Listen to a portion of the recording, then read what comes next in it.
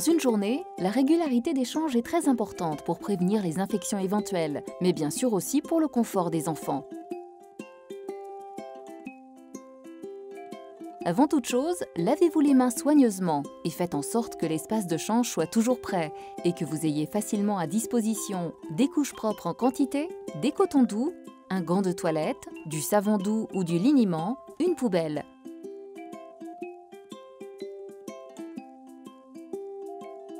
Il faut parfois sortir l'enfant de ses jeux pour l'aider à acquérir une certaine autonomie dans la propreté.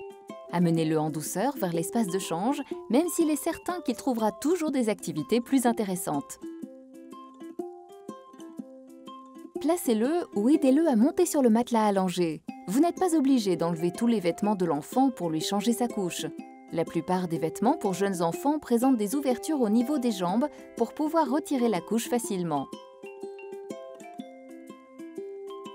Commencez par donner un petit jeu à l'enfant pour l'occuper durant le change.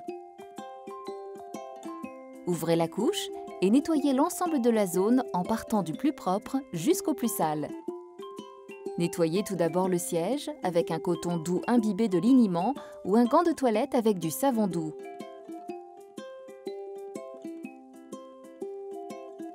Jetez les cotons et la couche sale dans la poubelle ou le sac prévu à cet effet. Replacez une couche propre sous les fesses de l'enfant.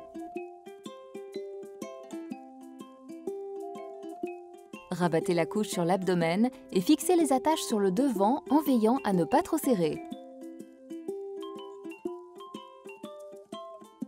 Le jeu et la communication ont une place importante dans le change pour plusieurs raisons.